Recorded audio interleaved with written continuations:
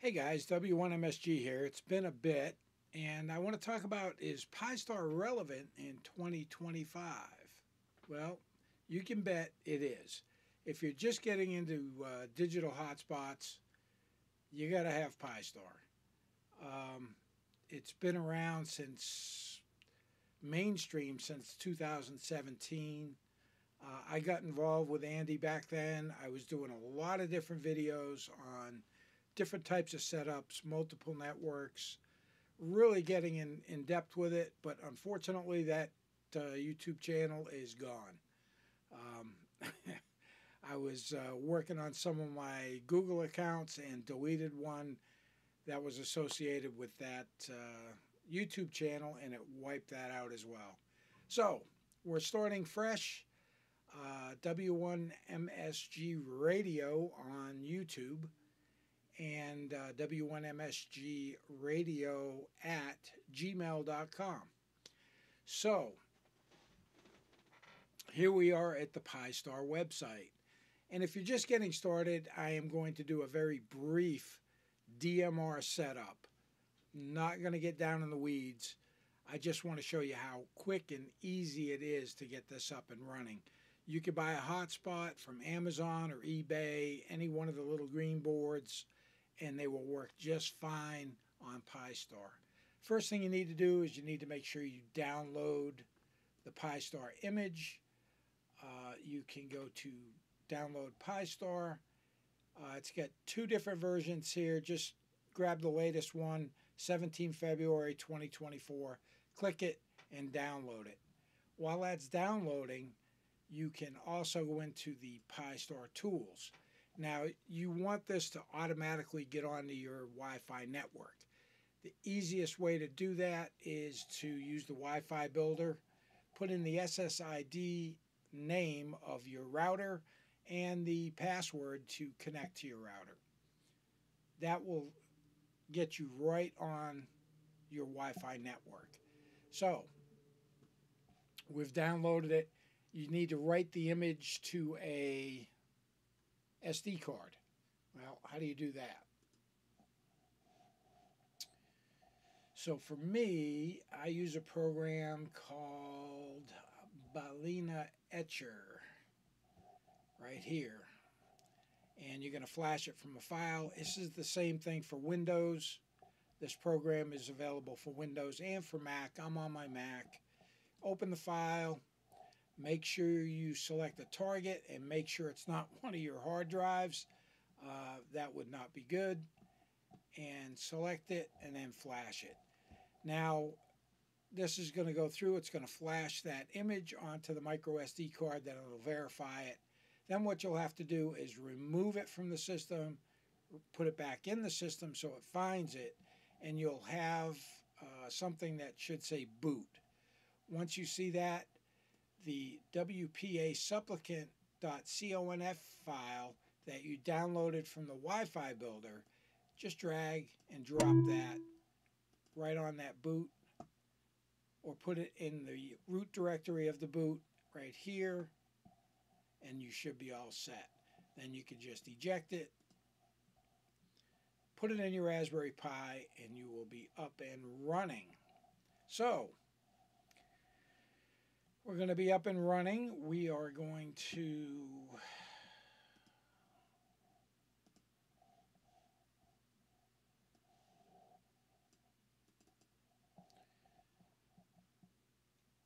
go to your web browser. Now on a uh, on a Windows machine, you can type in pi dash star backslash. It should connect right to your hotspot. On a Mac, it's pi dash star dot local.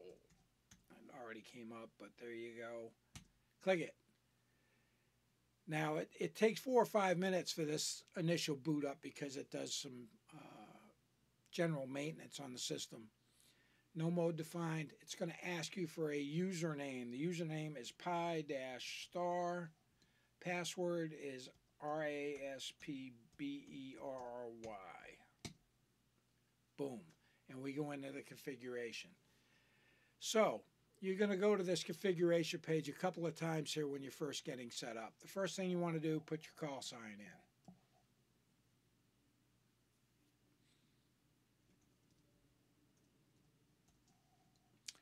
Next, have a frequency that you're going to use. Uh, this will be green if it's a good frequency. It'll be red if not. This is just something I have programmed in my radios. You could put your latitude, longitude, your town, your locator, country. Uh, you can change the URL and have it go to a uh, specific website, whether it's private or public. You can also enable the uh, APRS if you wish to. We're just going to apply the changes. Like I said, down and dirty, quick DMR setup. So this is going to apply the changes I just made and then come back up.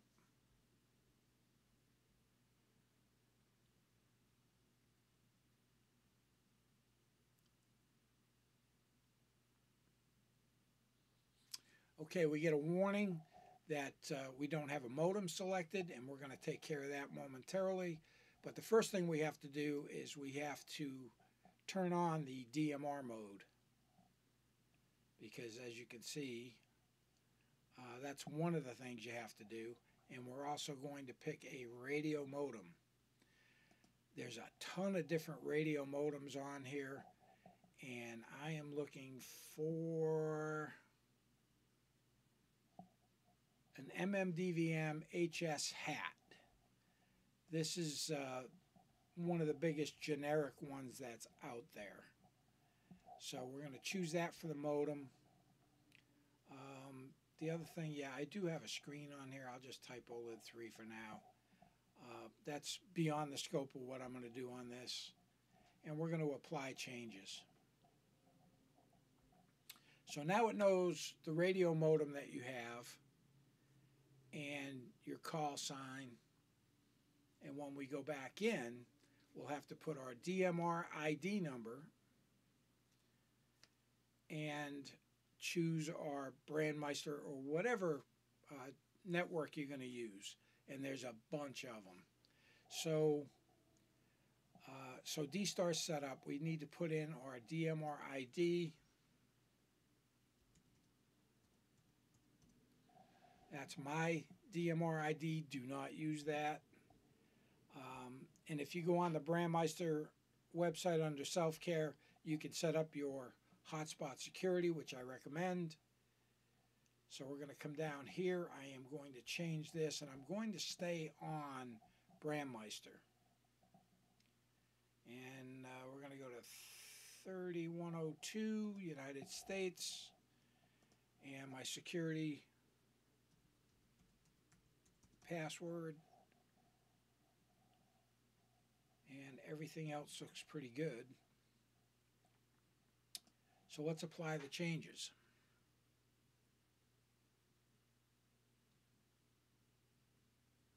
And you can always go back in here. Uh, there's advanced editors. There's a lot of different things. You can have multiple networks, uh, DMR configurations on here. There's tons of stuff you can do.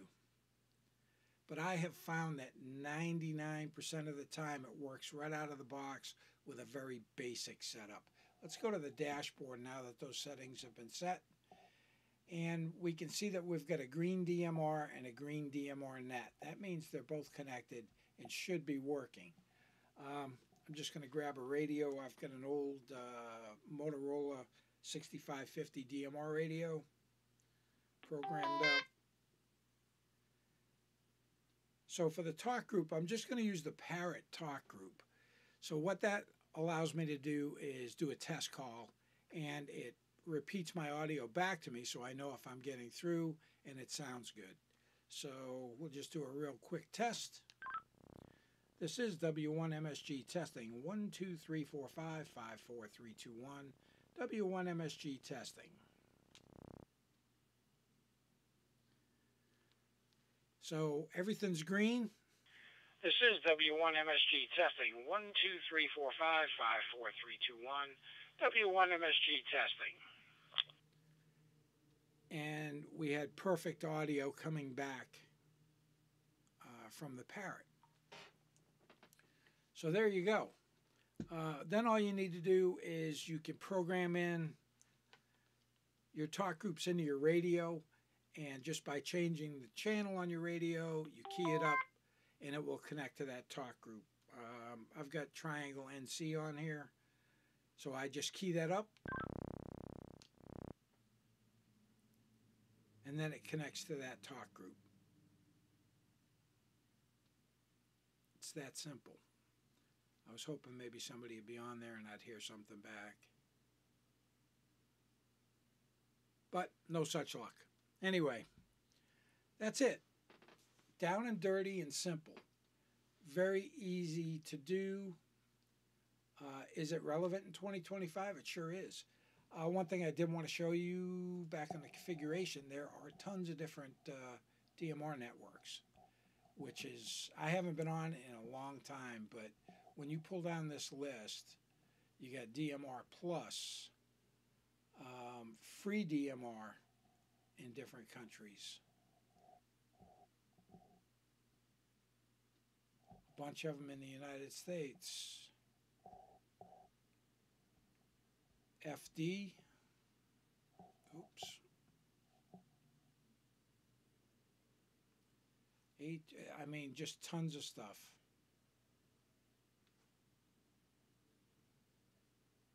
different countries. QuadNet, uh, First Coast Tri State. So you could use any of those. I just chose to go with Brandmeister. It's about the easiest one, and it's what I've got set up right now. So uh, stay tuned to the channel. I'm going to have a lot more stuff. I've been doing a lot on HF. Uh, I've got some HF recordings that I've been doing. I'll be doing some live streams from HF networks or nets, I should say, not networks. And um, I also got another project. I picked up a Hermes Lite 2 SDR radio. So I'll be putting that together, getting that on the air, and I'll have some videos on that as well. Hey, if you like the content, make sure you subscribe to the channel, hit the thumbs up, uh, hit the bell for notifications. It just helps all the algorithms, and uh, we'll see if we can't get this channel back up and running again. So, hope you enjoyed it. Thanks for tuning in. I appreciate it. Have yourself a great day.